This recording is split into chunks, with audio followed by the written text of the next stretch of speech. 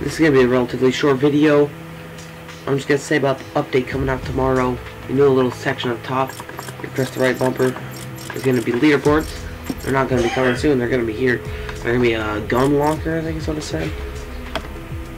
Or you can have a custom weapons like a RPG pumpkin shooter thing. I don't know. It's, weird. Uh, cosmetic only.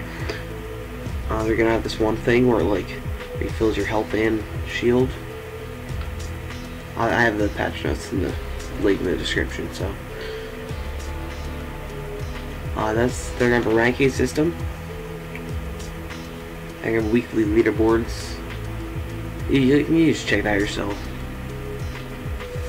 That's all. This is like I said, one minute, not even 59 seconds.